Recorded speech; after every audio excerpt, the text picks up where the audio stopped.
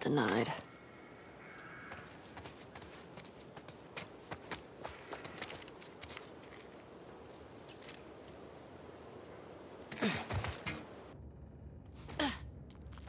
Let's see what they got in here.